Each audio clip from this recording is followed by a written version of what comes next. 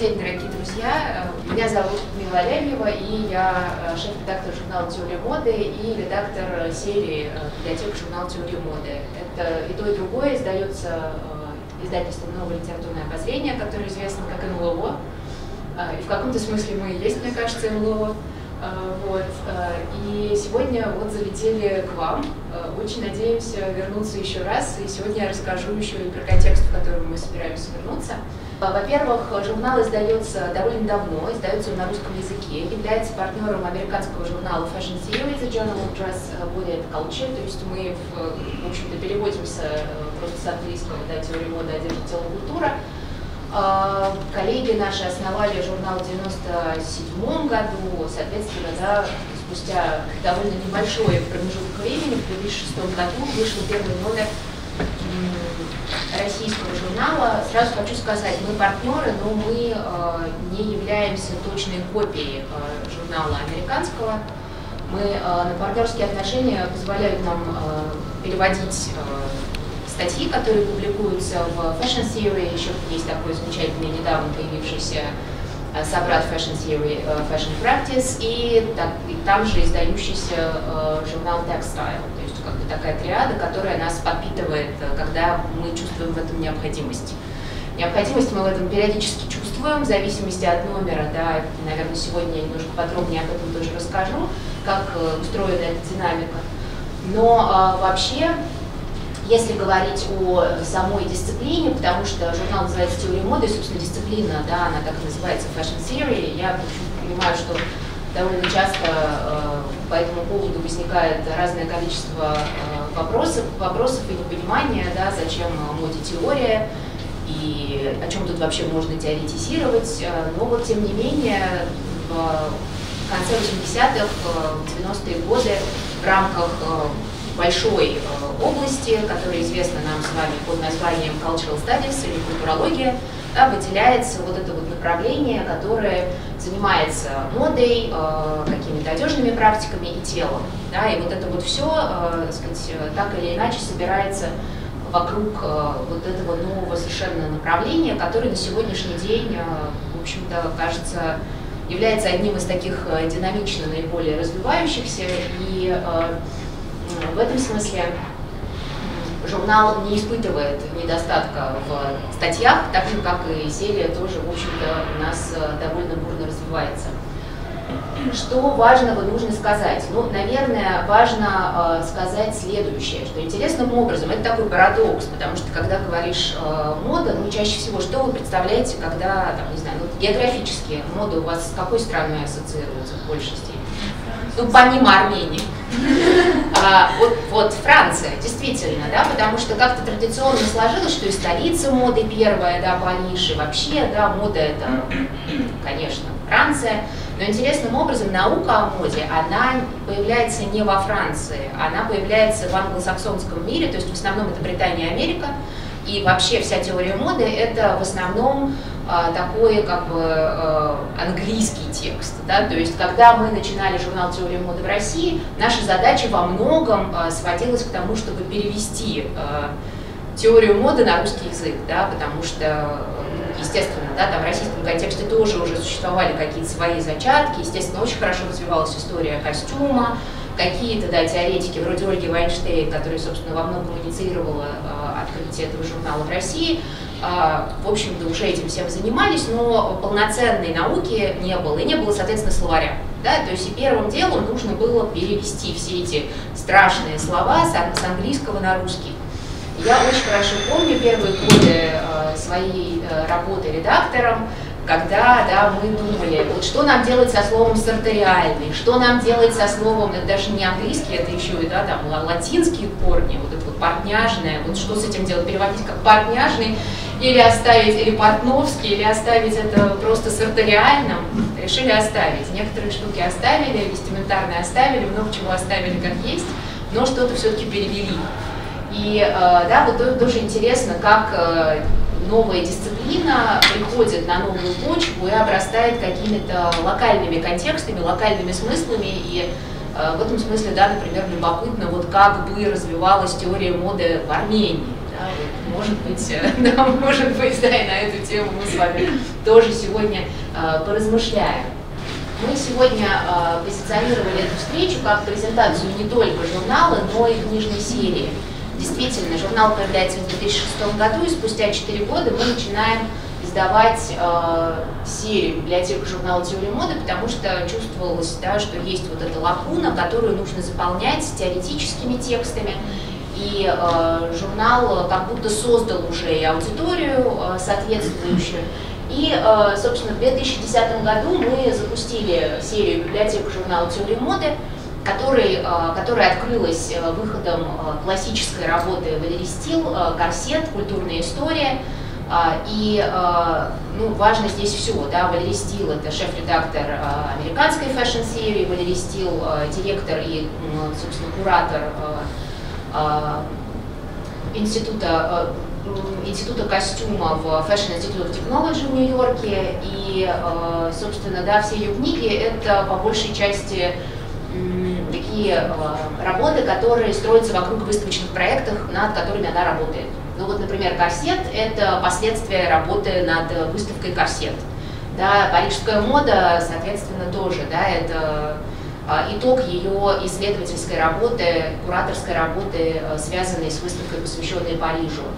А, готика, мрачный гламур, которую мы тоже издали, соответственно, да, это ее исследование феномена готики, и, который, который происходил и в рамках выставки, и в рамках, собственно, уже исследования. Э, и вслед э, за э, корсетом было издано большое количество самых разных книг. Ну, здесь я, конечно же, не могла обойтись без того, чтобы не вспомнить наш бестселлер, да, Пастуро всех времен и народов, потому что действительно эта книга, ну, самая, самая популярная, самая востребованная в серии. Можно найти этому объяснение, конечно, да, потому что ну, цвет э, – это какая-то такая универсальная штука, у которого, про которую у всех есть что сказать и что спросить.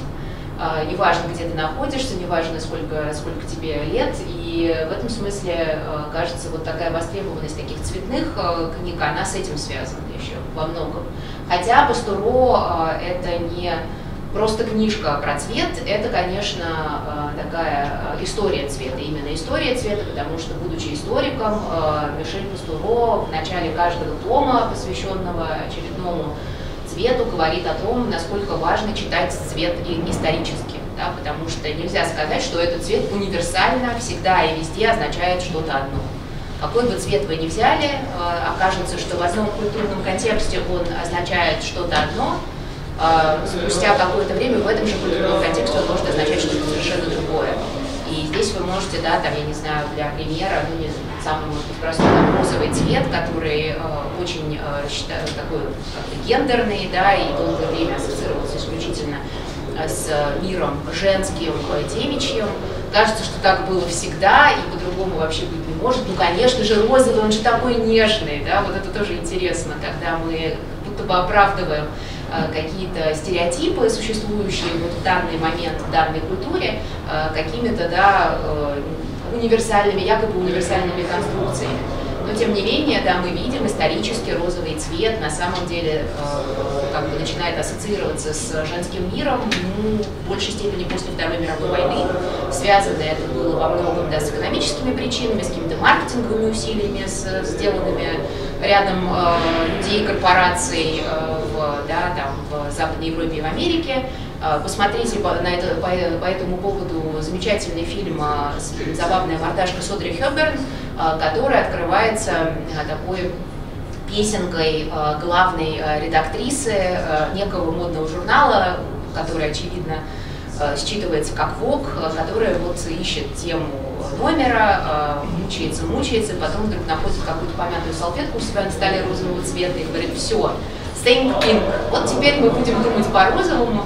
И, значит, он поет на эту тему целую песню, при этом сама говорит, э, нет, я ни в коем случае сама розовый никогда не надену, уж лучше я умру.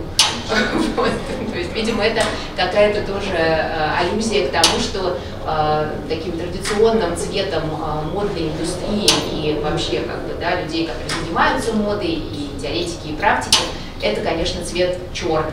Да, здесь тоже можно было поразмышлять. Тоже интересно, можно проследить э, причины того, почему э, действительно черный, он как бы так, да, традиционно считается Э, во многом профессиональным э, цветом индустрии, только ли индустрии моды, или окажется, да, что там может быть где-то еще какие-то интересные пересечения. Об этом, кстати, пишет во многом и э, Пастуро в, своей, в своем томе, посвященном черному.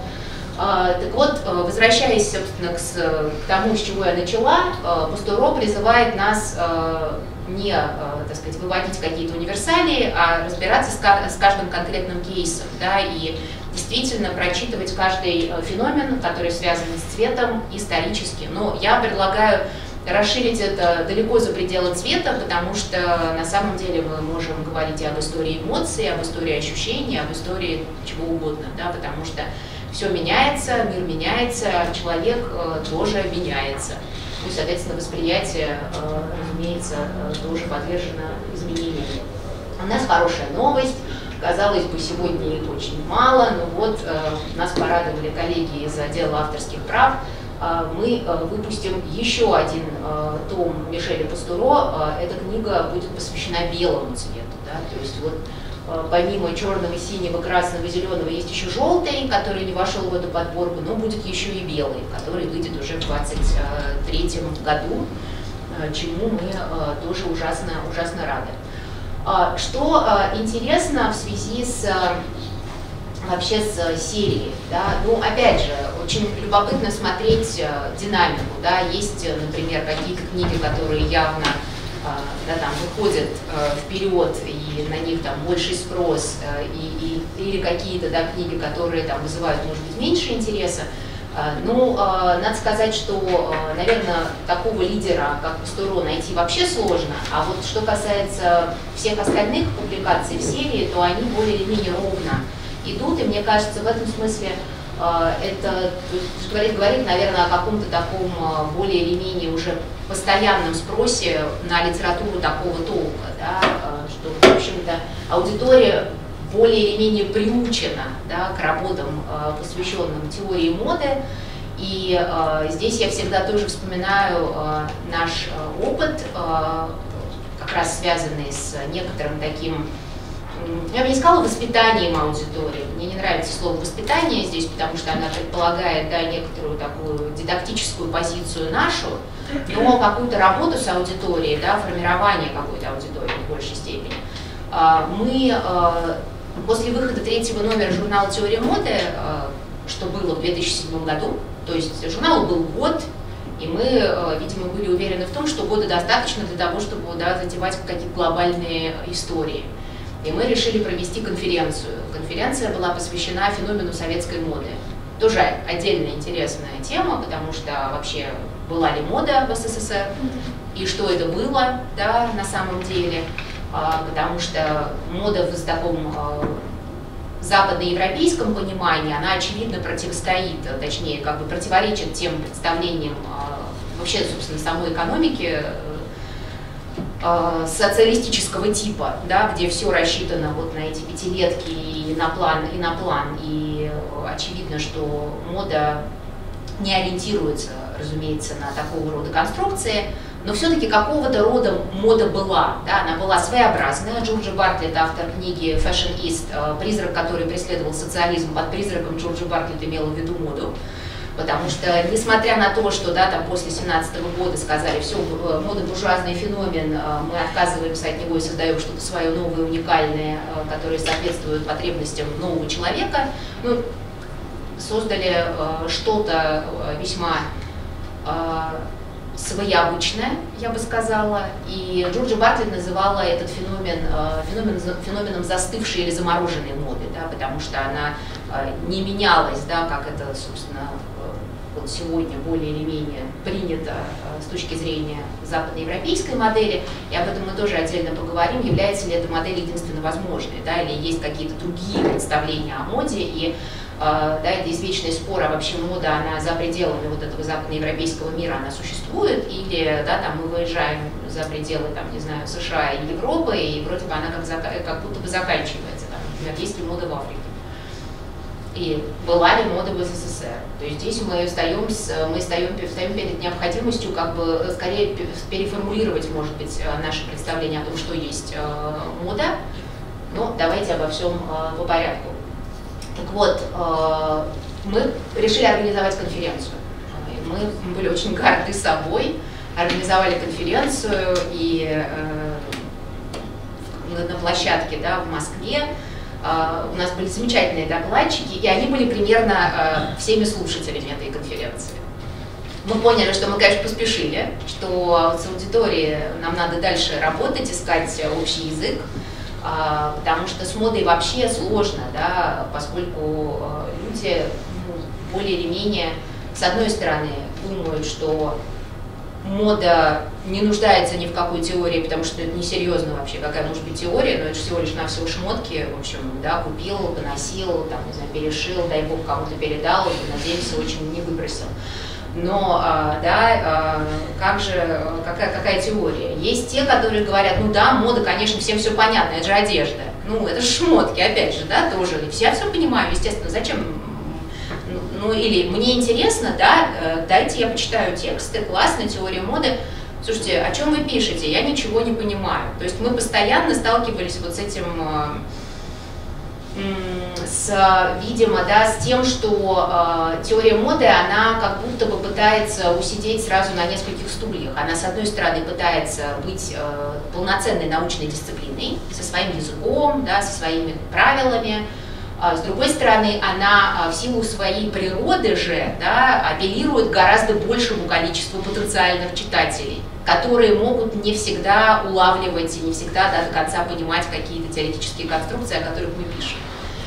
И нам, с одной стороны, можно было да, пойти путем, мы ориентируемся только на специализированную аудиторию, и нам все равно, что про нас думают широкие читатели, тогда да, делать какую-то свою такую очень нишевую историю, ну, научную, классную, нишевую, как это делает Fashion Theory, э, американский журнал.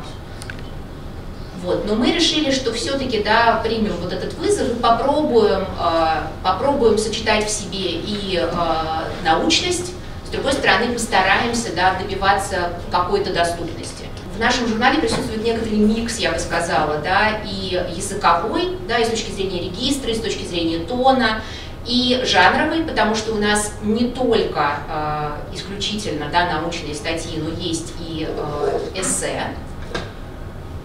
Это тоже, мне кажется, очень интересная история, и я сегодня об этом еще пару слов скажу, потому что да, вот в последнем номере у нас э, таких статей э, несколько, и, в общем, понятно почему.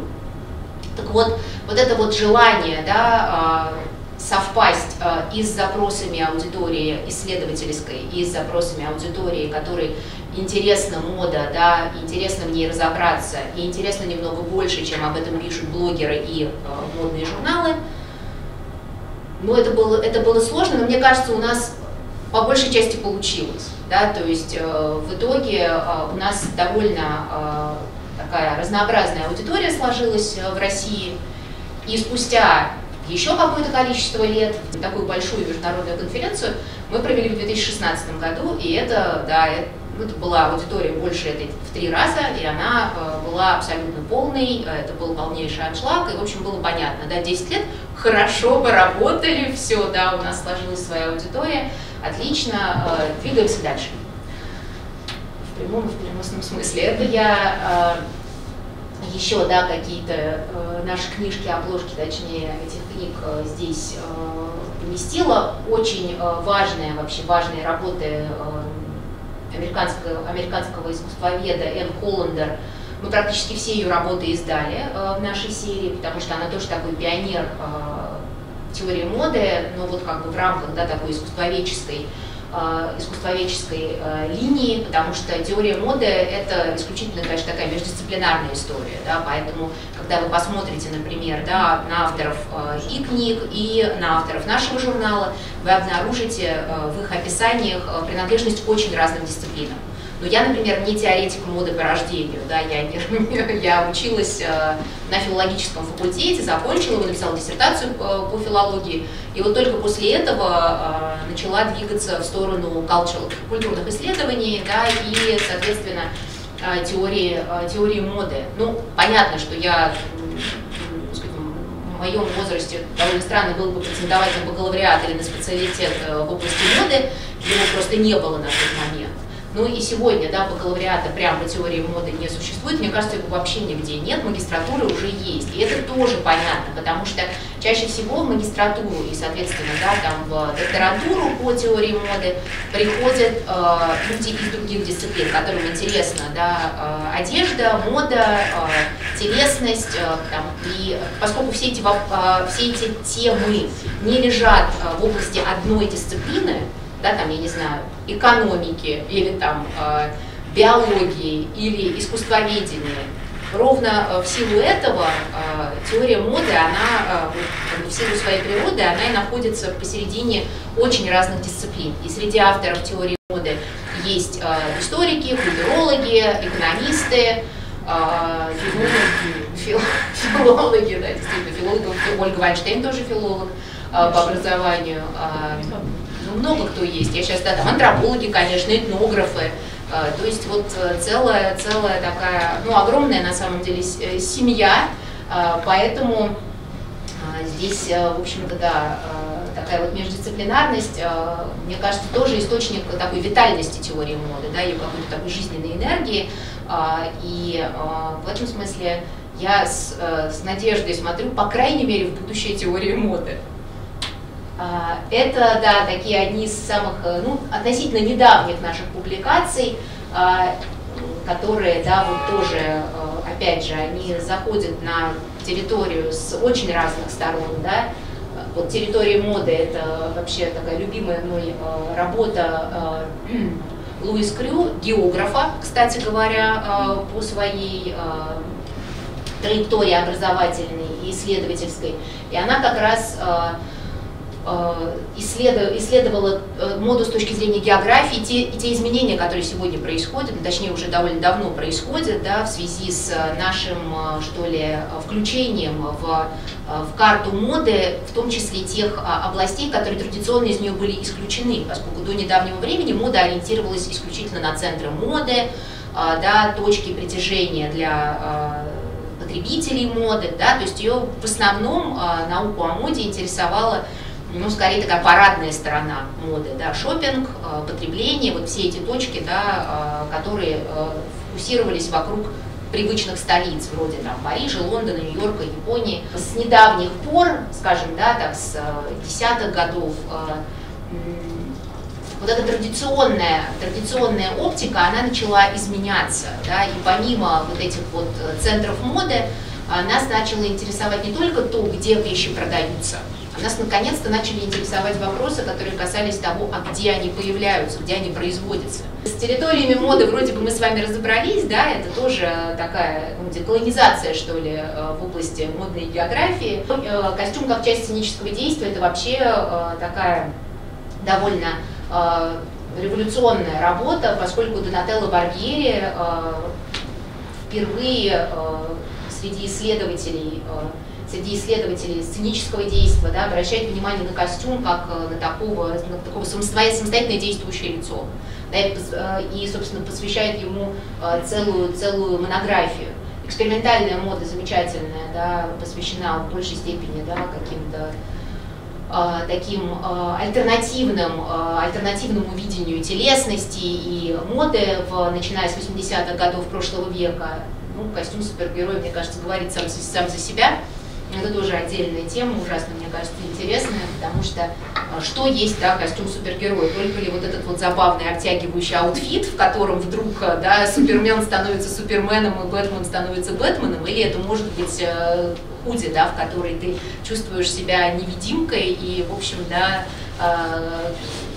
способным перемещаться в пространстве и э, делать что-то незаметное для окружающих. А может быть для кого-то да, такой костюм Супермена вполне себе говорит повседневная одежда, да, в которой они себя чувствуют комфортно. То есть вот это тоже, да, мне кажется, очень интересная штука, э, поразмышлять на тему одежды как доспехов, потому что для нас, конечно, это ну, то, что нас э, защищает, оберегает каждый день, старается изо всех сил. Так что нам надо точно совершенно вспомнить, как пришить пуговицу, зашить дырку, чтобы ответить своей одежде тем же.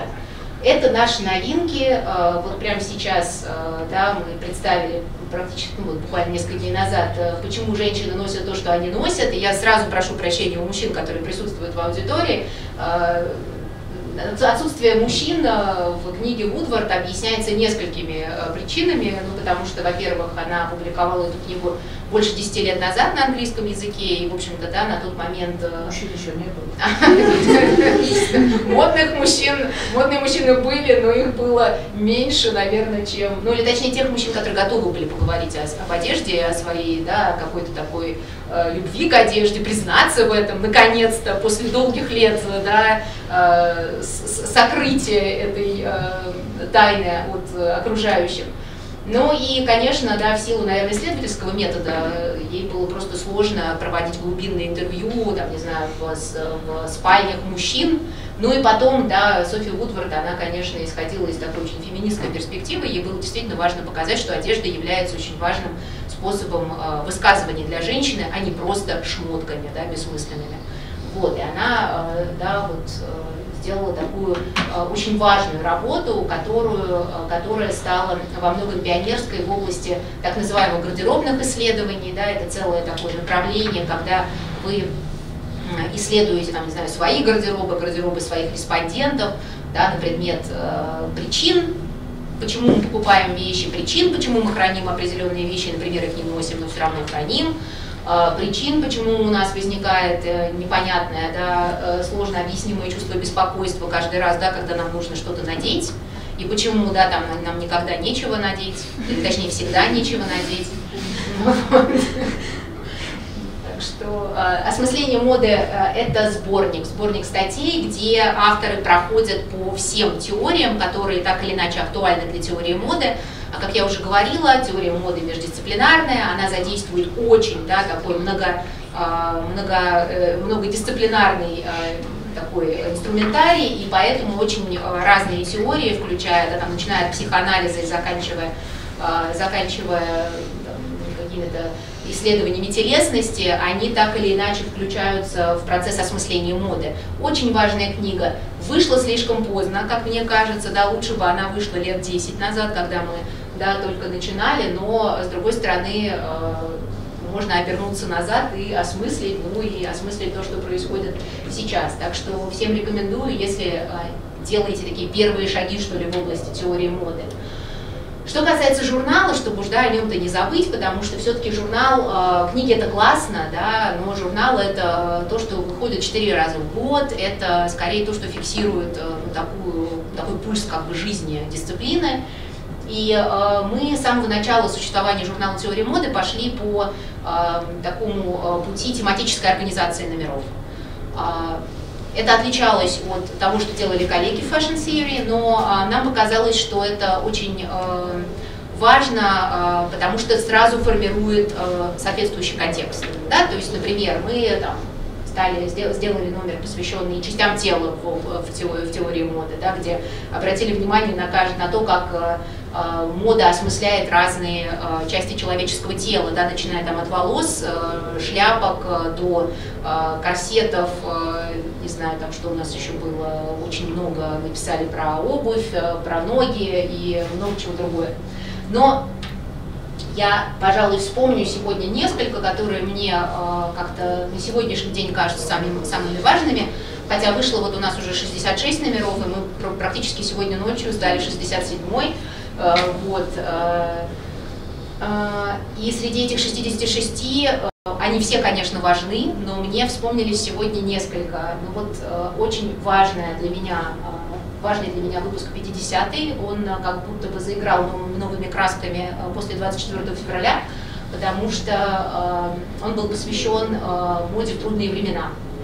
И э, в том числе, да, там была опубликована замечательная статья британской исследовательницы Ребекки Арнольд, которая э, как раз анализировала фотографию модную э, в 40-е годы в, в Британии, потому что в Британии да, в 40-е годы выходил блог э, вполне себе, продолжал выходить. И э, она смотрела вот на эти фотографии и э, пришла к такому парадоксальному выводу, что на этих работах Ли Миллер или Сесила Биттона мы видим, как противопоставлено что-то, что традиционно рассматривается нами как мимолетное, эфемерное, приходящее да,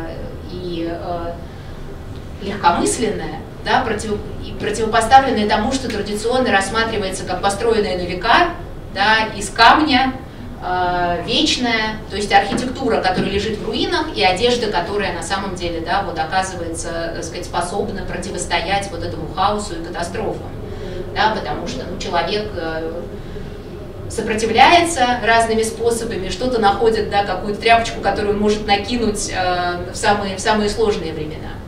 И в этом смысле мода, она оказывается по-настоящему да, такой цивилизационной практикой, да, потому что она нам позволяет, э, как вот ни странно, да, кажется, ну мода, ну кому вообще какое есть дело, когда, да, когда там, не знаю, за окном э, все рушится. Но на самом деле мода, она э, позволяет э, во многом человеку оставаться человеком, да, и вот этот вот базовый уход за собой, когда мы надеваем на себя одежду, когда мы о себе заботимся, заботимся о других, да, там зашиваем какие-то дырочки. Это же на самом деле, да, какой-то невероятно мощный гуманистический механизм. И мне кажется, я просто, да, ну как-то в таких, в таких, в таких ситуациях думаешь, ну что, ты занимаешься теорией моды? А потом, да, я занимаюсь теорией моды и буду дальше ей заниматься, потому что это про очень важные смыслы.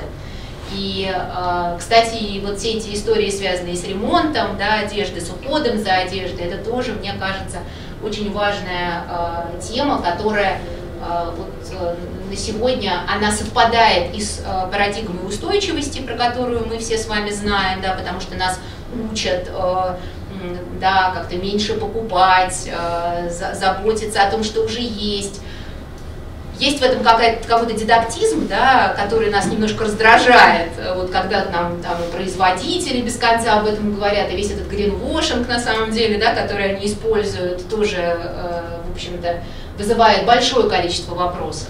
Но мне кажется, да, здесь нужно просто сформулировать для себя э, да, какую-то позицию, которая бы, с одной стороны, включала ну, вот эту потребность все-таки в том, чтобы одеваться, одеваться классно, но с другой стороны, да, может быть, э, делать это ну, более таком, что ли, э, осознанном варианте. Но, опять же, да, там отказываться вообще от покупок было бы странно, тем более, что часто мы покупку рассматриваем да, в категории такого подарка себе, да, э, какого-то такого радостного э, момента. А, ну вот вам и устойчивость пришла, прилетела устойчивость. Мы действительно вы сделали два выпуска, 52 и 53, которые посвящены были э, моде и вопросам устойчивости. А, посмотрели да, на это с разных сторон и прежде всего оценили, ну точнее так, да, проанализировали вообще, насколько вот эта вот парадигма устойчивости, которая вообще-то а, ориентирована на медленное потребление. А мода – это прежде всего новизна, быстрота, смена трендов, как они друг с другом соотносятся. Да? Это говорит о том, что нужно переосмыслить, получается, да, вообще как бы системно представление о моде, и, а, соответственно, переориентировать ее вот с этой вот быстрой модели на более замедленную модель. Очевидно, что мы самостоятельно это сделать не можем, да, потому что перекладывать здесь всю ответственность на потребителей исключительно, да, которые должны просто перестать покупать вещи, это по меньшей мере несправедливо, и вообще все эти процессы, они требуют как минимум двух участников, да, это, так, что называется, takes two, да, и производителей, и потребителей, ну, видимо, да, в какой-то точке нам нужно будет всем договориться, а, если это получится посмотрим. А, кстати, тоже про выпуск 50, 52 и 53. Интересный э, вопрос своевременности. Э, у, брита, у американцев ну, э, ситуация такая. Журнал американский, потому что америка, главный редактор американка Валерий Стин, но при этом его издает э, британское издательство. Сначала это был Bloomsbury, потом это стал Taylor and Francis, там бесконечно меняются э, издательства. Так вот, они сделали выпуск, посвященный устойчивости еще в 2009 году. Мы тогда существовали всего три года, и в России на тот момент, да, еще шла вот это вот, э, шло это, шло это время, да, насыщения, естественно, после, да, периода отсутствия примерно всего, и говорить с людьми о, об устойчивости, о том, а давайте-ка ограничим вообще потребление, и вот в этот период было немного, наверное, не своевременно, ну и еще, да, не сформировался язык, не сформировался соответствующий контекст. Мы, конечно, потихонечку что-то публиковали, естественно, уже на тот момент и в России, и везде появлялись какие-то инициативы. Но вот мы спустя, э, наверное, лет э, пять только сделали такой выпуск, причем не один, а сразу два. А, а до этого и еще сделали с нас со странами Северной Европы совместный выпуск, который тоже во многом был ориентирован на устойчивость, потому что в этом смысле, конечно, именно Северная Европа, она лидирует, потому что им, а, ну и с точки зрения, наверное, переориентированности собственной экономики, как-то проще да, сделать это, потому что сейчас они активно обсуждают э, вопрос о том, чтобы принять ряд э, законодательных инициатив, которые, э, ну, как бы, да, вот эту, инкорпорируют эту модель устойчивости в производство, да, то есть уже не будет возможности да, как-то, сказать, делать иначе, чем вот так. Ну, есть в этом некоторые, да, некоторые такие тоже ограничения, но вот эти ограничения вызваны а, вынуждены, ну, это вынужденные меры, вероятно, о которых тоже, естественно, нужно говорить, потому что я вот люблю со студентами проводить а, а, такое, знаете, упражнение. Вообще очень люблю гардеробные упражнения, вам тоже советую. Это хорошая такая, знаете, такая персональная тоже тренировка. А, а, во-первых, можно вести гардеробный дневник неделю, чтобы вообще понять, чего вы носите, почему вы это носите, и потом как-то оценить, да, что вам приносит удовольствие, что совсем не приносит удовольствия, в чем вам хорошо, в чем вам не очень хорошо, какие вещи вообще не востребованы, например. А есть еще упражнение, да, когда я прошу э, разобрать гардероб, это бывает некоторым сложно, некоторым просто, э, разобрать на три кучки Три может быть мало, но э, те вещи, которые вы носите часто, те вещи, которые вы носите э, редко, те вещи, которые вы носите вообще. Э, ну вот давайте попробуем с вами прикинуть. Вот сейчас прикинули все свои гардеробы, вообразили, да, в ужасе, глазах все, все. Сколько примерно процентов попадает вот вообще не ношу? Ну вот у вас бы сколько попало? Большая часть одежды у меня 20. Больше 20. Значит, у вас довольно активный да, гардероб. Оля, большая часть одежды.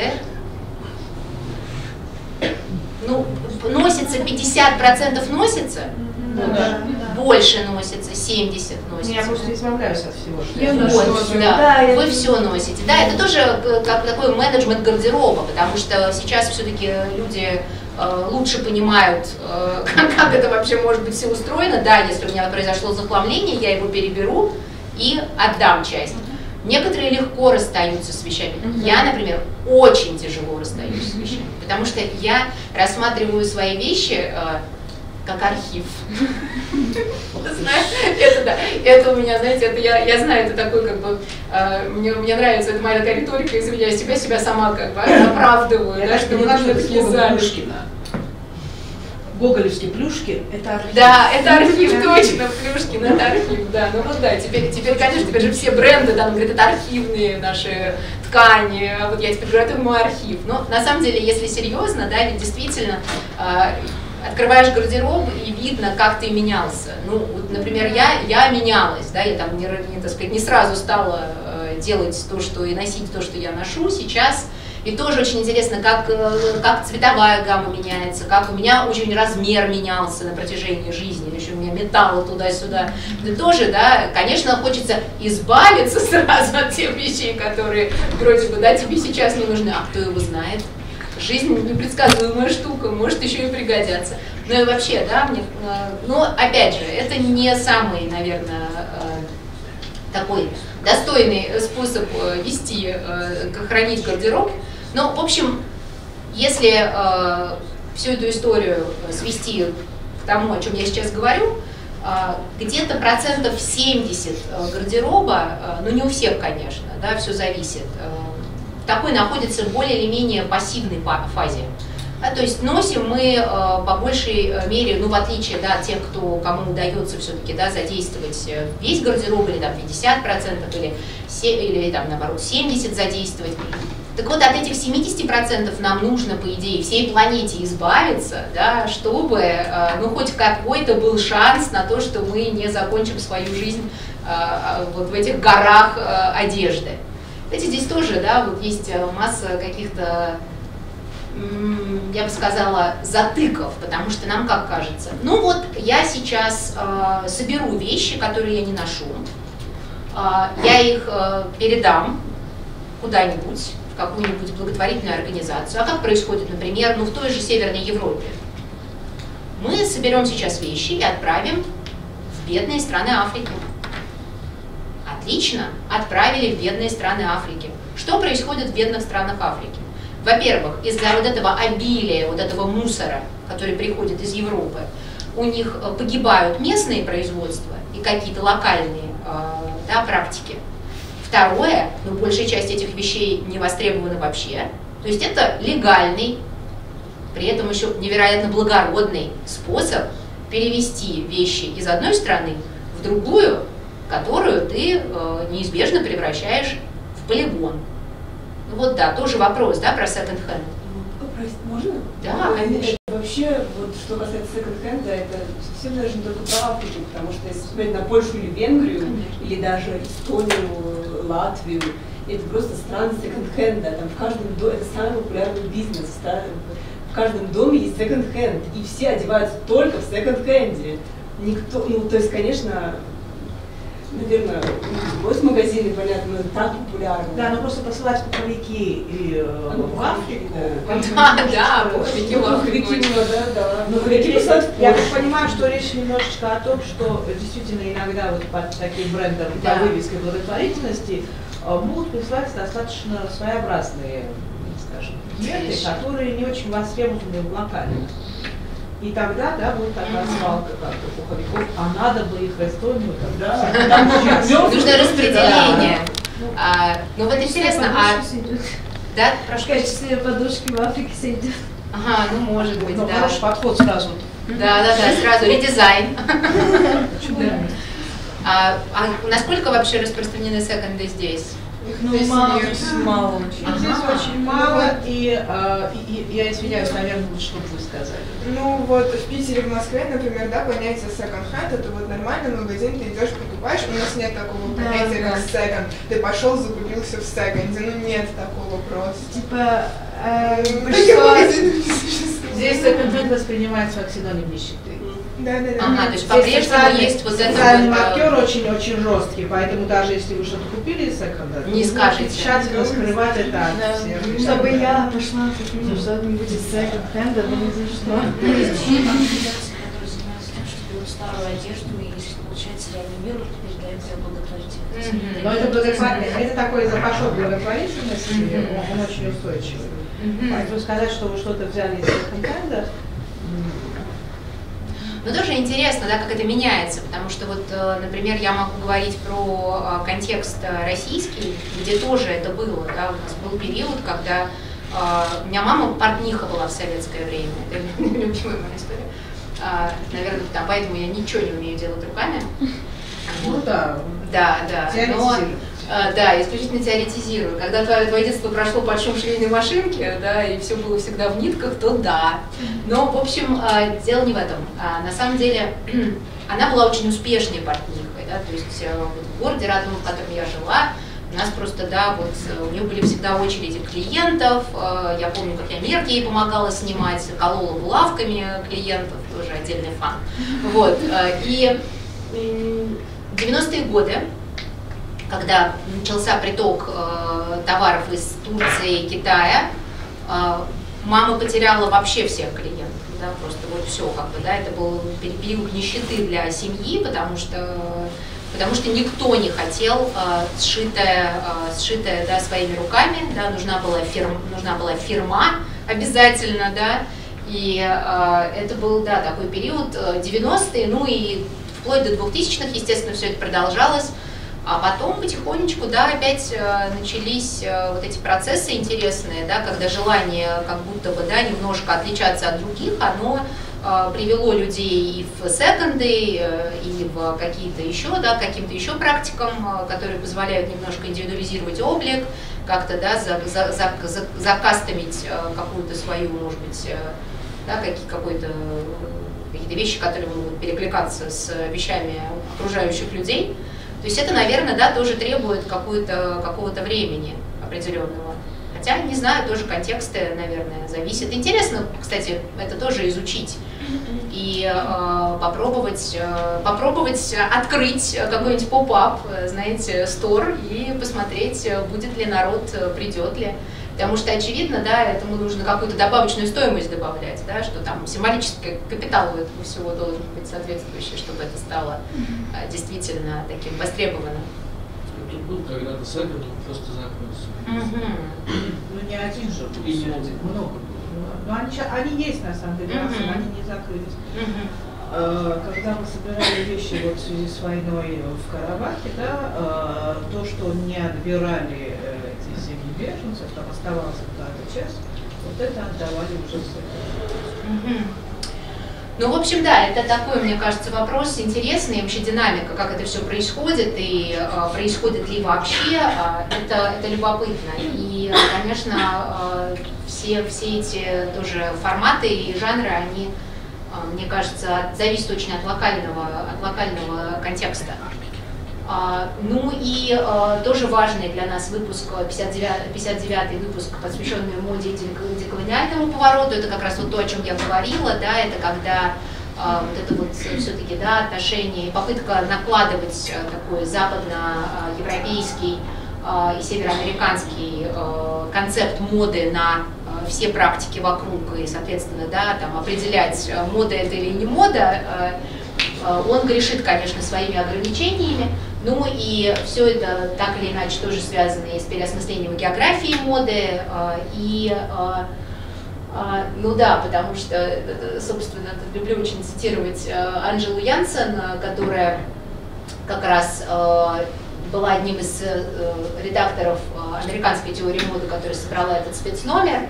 Э, Она написала в своей статье «Мода и фантасмагория», фантасмагория современности, пока у львов не появятся собственные историки, история охоты всегда будет прославлять охотника. Ну, действительно, да, мы знаем об истории охоты с точки зрения охотника.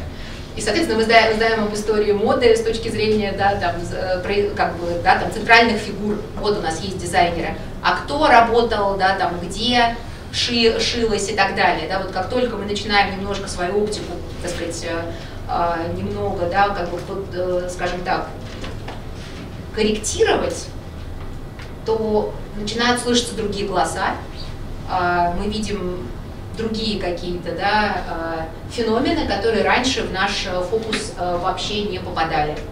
Кстати, Анжела Янсен приедет на конференцию 1-2 июня сюда, в Армению. Я немножко подробнее поговорю об этом чуть позже. Но на излете э, пандемии, ну, которая вроде и не закончилась, конечно, все еще, но э, мы сделали специальный выпуск, посвященный моде и тактильности, и он а, практически не содержит а, статей из а, американской теории моды, потому что он ну, полностью собран из специально написанных по соответствующему полу а, статей. И здесь речь идет и о, естественно, каких-то повседневных практиках ношения одежды, поскольку нам, конечно, да, невероятно важно не только что на нас надето, но и как это ощущается. А, И кажется, да, что, может быть, это становится все важнее и важнее. А, И кроме того, да, интересно тоже было разобраться с тем, насколько тактильная а, вот эта вот составляющая важна, например, в практиках производства одежды. Потому что я помню как раз, да, тоже в период пандемии мы продолжали, естественно, в Зуме учить и, и практиков тоже, что было таким своеобразным вызовом. И одна из э, студенток, э, никогда не забуду, как раз в период э, такого э, жесткого локдауна, но он был у нас э, в Москве сколько длился, три месяца, по-моему, в отличие да, там, от стран Европы, это может быть не так долго, но хватило некоторым нашим студентам. И одна студентка, которая как раз была оторвана от своей студии, не могла туда ходить, а дома что-то такое собирала и делала по проекту, она мне призналась, что она ходит по дому очень часто и просто трогает разные поверхности, чтобы да, вот, э, не, не утратить это ощущение материальности и материального мира. Да, и вот э, кажется, какая ерунда, да, но мы на самом деле бесконечно трогаем что-то, да, не только одежду, но и какие-то другие поверхности. И в этом смысле э, нам это важно для тоже такого проживания э, человеческого опыта. 64-й выпуск как раз был посвящен практикам ремонта, И э, это и совпало, как я уже говорила, вот с этой историей, э, связанной с лабораторией исследовательской. Мы смотрим и на visible mending, да, то, что сейчас в дизайне моды активно, собственно, присутствует, такой видимый, э, следы видимого ремонта, там, не знаю, всякие зашитости, заплаточки и так далее. Да, вот как происходит тоже легитимация всех этих процессов, тоже любопытно, с чем это связано, когда это начинается. Начинается это, конечно, не вчера, да, это начинается еще в 90-е годы прошлого века, когда очень многие дизайнеры, там, не знаю, может быть, вы наверняка слышали э, имя Мартина Маржеллы, да, который, вот, собственно, начинает активно э, тоже включать э, в моду в то, что раньше в нее не допускалось и скорее было связано да, с, с, с понятием несовершенства, изъяна, и вот эти, да, там, пятна, дыры, ну, еще японцы тоже, конечно, здесь поработали в 80-е. И а, я просто очень да, э, то, что сдано ночью практически, 67-й выпуск журнала «Теория моды», э, посвящен моде, одежде и текстилю как эмоциональной практике. Да, и э, это очень любопытный такой у нас получился номер, как мне кажется, потому что он посвящен огромному спектру вопросов, начиная от того, как страшно одеваться, и выходить на улицу. Вот, и, кстати, э, первая же э, статья, не статья на самом деле, а серия набросков Ольги Вайнштейн, э, которая вот, собирала эти наброски всю свою такую исследовательскую жизнь. И вот я ей предложила их опубликовать. Так вот, в этих набросках есть целый блок, посвященным страхам и моде. И моде. И как раз речь идет о страхе выхода, и она описывает, да, вот чего мы боимся перед тем, как выйти. Вот мы, вот мы оделись, э, смотрим в зеркало. А, вы чего-то боитесь? Да, бывает иногда. Чего? А, что на меня не так посмотрят. Осуждение. Да. Да, боитесь осуждения. И как будто, да, вы, вы себе воображаете, у вас есть воображаемый другой, встроенный где-то, да, там вот, и вы смотрите на себя, и там смотрите на себя глазами другого, мамы, или там еще кого-то. Мама же, не знаю, некоторым мамы, да, для бабушки говорили, ну как ты можешь сочетать кроссовки и платье? Я никогда не забуду, а, я была в, в примерочной магазина, я люблю подслушивать, извините, это мое исследовательское такое хобби. Вот. И девчонки две э, подбирают что-то там э, на выпускной, мне кажется. Э, и одна говорит другой, слушай, была бы моя воля, я бы надела просто костюм, пиджак и, э, и брюки и пошла бы, и кроссовки. А другая говорит, а почему нет? Бабушка не поймет. И вот было понятно, что ей это хотелось, но бабушка, пожалела бабушку, купила платье, говорит, но я попробую все-таки под него кроссовки надеть. Вот, может быть, бабушка как-то, да, переживет это. Да, осуждение. А чего еще мы можем бояться? Не обязательно кого-то, да, мы можем чего-то бояться. Мы уже не видим себя со стороны, мы не можем знать, может быть, это помнется, что-нибудь порвется, и это беспокойство. Да, беспокойство, да, что где-то там может быть какая-то дырочка или еще что-то, или, не дай бог, что-то разойдется. Да, например, слишком оделась, да, слишком нарядная, или наоборот, да. слишком не, да, как-то вот не дотянула. На свадьбу в спортивном костюме, да, при... да. Нам сказали, мы идем в лес на костюм. Ага. Вы были невестой? Нет. Да, все хорошо. Тогда я бы знала. Но да, к счастью, была еще одна девочка в спортивном костюме. Мы держались вместе, потому что все остальные пришли на костер в лес, в жемчугах, значит, в туфлях. Ну, значит, это они странные.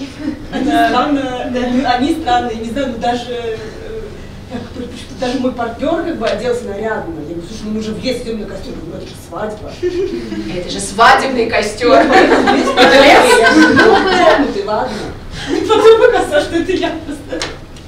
Было бы, если, Ой. было бы хорошо, если бы они сделали один дресс-код для всех. Ну да, конечно, предупредили бы, да. лес. Ну да. Да, мне кажется, ну да, мне кажется, дресс-код и какое-то понимание дресс-кода заранее, да, ну вот есть в этом какой-то все-таки какой-то... Мне кажется, люди изначально придумали дресс-коды, с одной стороны, чтобы, так сказать, действительно как-то структурировать общество, но с другой стороны, может быть, минимизировать беспокойство. У тебя написано white tie или там black tie скорее, white вряд ли. black tie, ты более-менее представляешь, ну, значит, э, смокинг, бабочка, и идешь спокойный. Вот давайте, вот как не, не дали вам сказать. Вот слишком черный, слишком да. черный, да, слишком белый, слишком черный, слишком розовый. све- свете и думаешь, надо разбавить. А, total look, страх total лука, да? А если что-то добавил, а вдруг что-то не то добавил? И еще, да, не знаю, там, ну, там где-то там, может быть, что-то г- мы не видим же сзади, действительно, мы же фронтально себя видим. Или дай бог, или просвечивается, да, или там летом слишком короткая. Ну, мужчина, не знаю, мужчина может в шортах, да, там мой нет, слишком шорты. Да, или там э, нижнее белье просвечивает. Ну, то есть э, погода, А- а вот, например, сегодня, да, я оделась, вышла, мне пишет э, коллега, который сейчас здесь, там очень ветрено, ты взяла с собой платок. И я начинаю думать, боже мой, у меня нет платка, какой платок, зачем он мне? Видимо, чтобы у меня, не знаю, моя прическа, которая там Да, с это я платкой. сегодня иду, у меня просто вот Да. так волосы. Вот, тоже, да, вот, вот и, ну, слушайте, после этого выйти, вот как после этого выходить на улицу? Страшно, страшно жить, страшно одеваться, страшно не одеться, что делать? И вот э, как будто бы, да, э, действительно, одежда сопровождает человека с рождения и, в общем, и вообще до самой смерти, да, то есть ничего к нам так близко не прилегает, как одежда. Она с нами всегда. И э, в этом смысле, конечно, наши отношения с одеждой невероятно эмоциональные.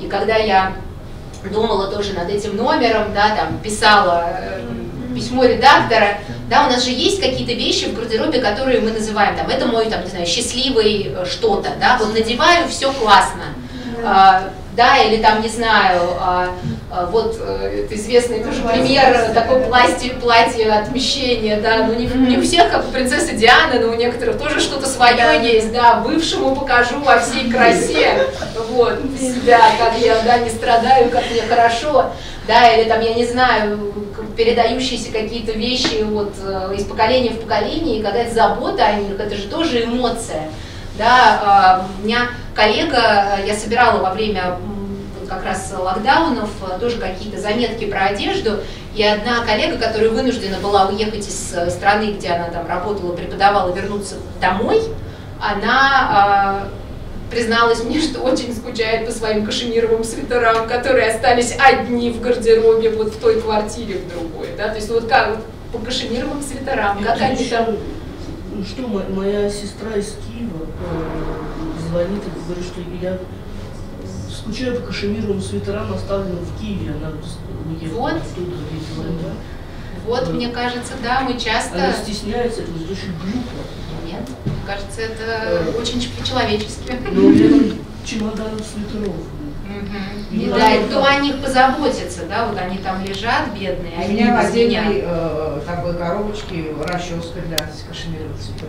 Поэтому Вот, расческа для цветов. конечно, да, вот есть же у нас какие-то еще и...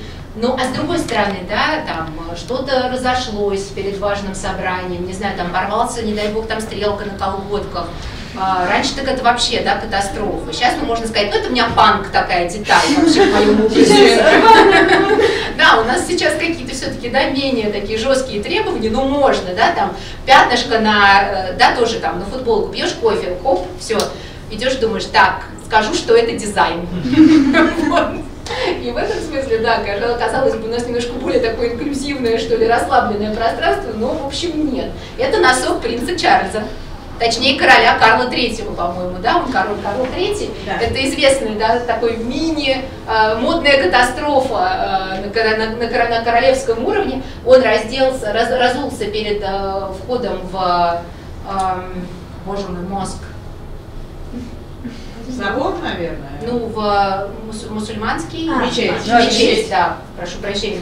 И он, э, да, и он, а, и он, да, ну, все сразу, естественно, заметили дырку на носке. Вот, и эта, эта дырка обошла все вообще э, газеты, медиа мира. Вот, да. А, Катастрофа или нет? И э, с другой стороны, да, вот это ощущение, что у нас слишком много вещей, да, мне стыдно, ужас, какой кошмар. А, купить новую вещь никому не скажу, купила, ни- никому ни за что не скажу, да, порадуюсь. Или какие-то фантазийные вещи, которые мы покупаем, но знаем, что носить точно не будем, потому что это как бы не соответствует моему образу, но мне так хочется, да, чтобы у меня было боа дома, например, я буду в нем ходить, да. Или некогда. А когда-нибудь, а вдруг? Настанет момент, можно будет надеть. И поэтому скапливаются вещи. Например, да, и, кстати, очень интересен феномен еще и отпускного гардероба, да, вот что мы с собой берем. Иногда мы берем вещи, которые здесь мы ни за что не наденем, а там попробуем. Там меня никто не знает, нацеливающих взглядов будет немного, а, страхов поменьше, вероятно, или они будут другими. А, Вот, и в этом смысле, да, э, и все это про что? Все это про одежду, все это про эмоции, да, потому что, как э, заметила Эллен Сэмпсон, которая тоже приедет э, в Ереван э, 1-2 июня в своем эссе «Осязаемое время. Одежды как носитель памяти», да, одежда касается нашей кожи, облегает ее, обволакивает тело, запоминает жесты и другие формы взаимодействия с миром. Но действительно, да, на одежде же остаются какие-то э, следы не только э, ну, как бы и взаимодействия с нами, с нашим телом, с миром. То есть это вот к вопросу об архиве. Конечно, архив. А, Ну и другой, да, тоже, э, тоже эмоциональный пласт, связанный с э, беспокойством общественным, да, по поводу моды, потому что очень часто мода, она попадает в такой фокус критики, да, там, ну, вот разоделся, да, ну, вот если он так нарядился, он же, конечно, не думает о серьезных вещах, но как он может думать о серьезных вещах? Слишком нарядный, да, а, там, слишком модный. Это все не откуда-нибудь, а из советского журнала «Крокодил», да, потому что тогда мода все время по- попадала в фокус критики. Э, Понятно, что стиляга не может быть хорошим работником, потому что да, слишком много думает о своих обтягивающих э, брючках, да, и вот куда ему дорога из столеваров, конечно, куда-то еще. И вот это в преддверии 8 марта, мне очень понравилось это, я решила, я поняла, что вы празднуете очень серьезно э, этот э, праздник.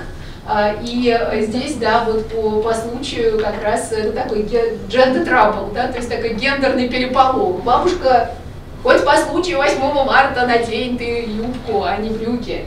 Вот, и это, конечно, тоже такая история а, которая э, приводит к беспокойству. Ну, э, мы действительно за много лет существования журнала провели, э, помимо э, вот тех двух конференций, о которых я сказала, э, еще много э, разных, э, да, в частности, сейчас вот посмотрим, да, у нас было, это как раз и есть э, конференция 2016 года, посвященная десятилетию Здесь работа, я очень люблю э, этого израильского дизайнера обуви, Коби Леви, можете просто потом посмотреть его работы. Если вы издалека смотрите на эту э, туфлю, то это как будто кроссовок, к которому прилипла жвачка. А на самом деле, да, это, это каблук, да, У меня причем очень каблук. устойчивый. А? Есть такой каблук.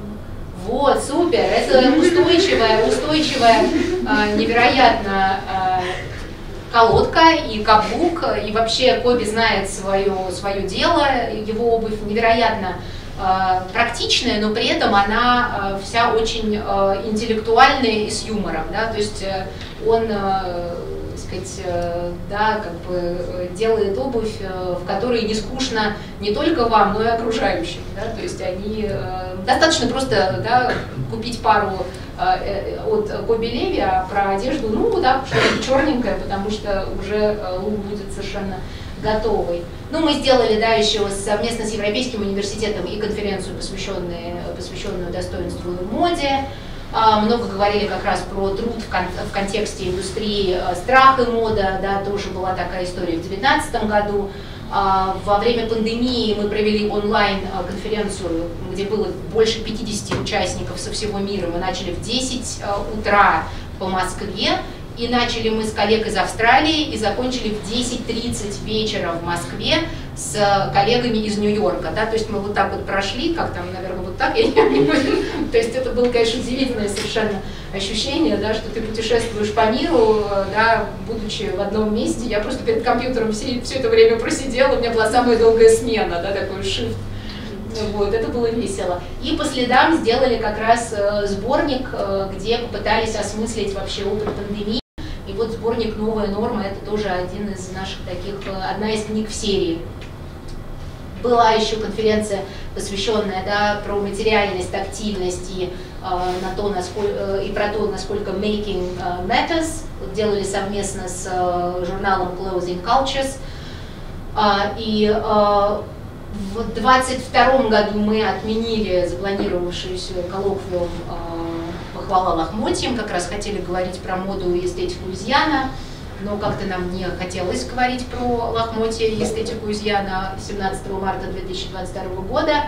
Но а, вот мы очень надеемся, что 1-2 июня 2023 года в Ереване мы проведем конференцию, которая будет называться «Мода идентичности кризис. Как мы создаем одежду, носим ее, заботимся о ней и о себе». На английском мне чуть-чуть больше нравится название, на армянском я не знаю, хорошо ли, но вот э, выглядит красиво. Uh, fashion cultures, identities and crisis making, wearing, caring, да, нам русском нужно было дополнять. Вот, uh, что-то у меня почему-то два раза получилось, чтобы запомнили вы все, наверняка. Там ошибка в Так, вот вы нам сейчас про это скажите, потому что надо будет потом исправить. Оля, говорят, что в армянском ошибка.